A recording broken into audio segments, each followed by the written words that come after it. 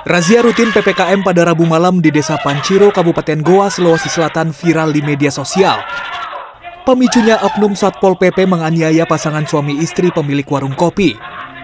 Dalam rekaman CCTV serta rekaman ponsel, oknum Satpol PP sempat terlibat adu mulut dengan istri pemilik warung.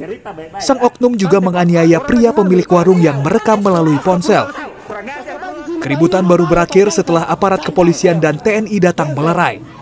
Pemilik warung mengaku saat kejadian warung miliknya telah tutup, namun dirinya sedang menjual kopi secara live di media sosial. Uh, kita sementara live, terus uh, kalau kita live kan pasti putar musik. Uh, mungkin dia bilang kita putar musik, mungkin dia bilang ada pengunjung dalam. Uh, dia masuk semua ada 40 orang lebih, tidak ada satu orang pun pengunjung dia lihat. Pasca kejadian, aparat kepolisian langsung menggelar olah TKP. Kedua korban kemudian melaporkan penganiayaan ke Mapolres Goa. Di tengah pemeriksaan polisi, istri pemilik warung yang diketahui tengah hamil 9 bulan jatuh pingsan dan dievakuasi ke rumah sakit.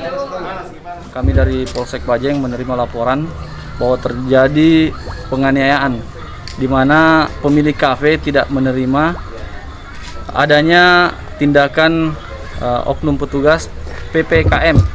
Nah, namun setibanya di SPKT beliau kurang sehat jadi laporannya pertengahan dihentikan karena beliau ke rumah sakit dibawa ke rumah sakit. Korban dalam kondisi hamil. Kondisi hamil menurut informasi dan pengakuan korban sementara uh, hamil 9 bulan.